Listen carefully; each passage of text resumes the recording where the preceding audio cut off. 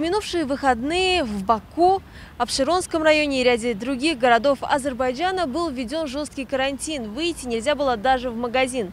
В будние же дни ограничений не было введено.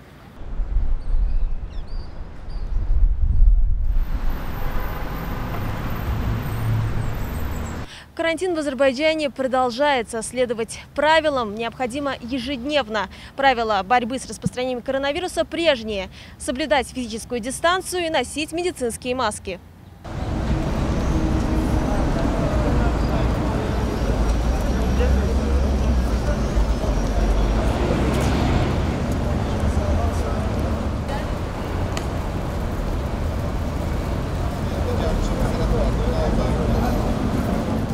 Большинство ограничений для граждан страны в период смягчения режима карантина были сняты.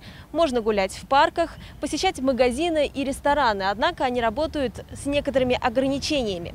Но не исключен вариант повторного введения жесткого карантина в выходные дни. Решение будет зависеть от эпидемиологической ситуации в стране. Медина Гурбанова, Чавид Гадыров, CBC.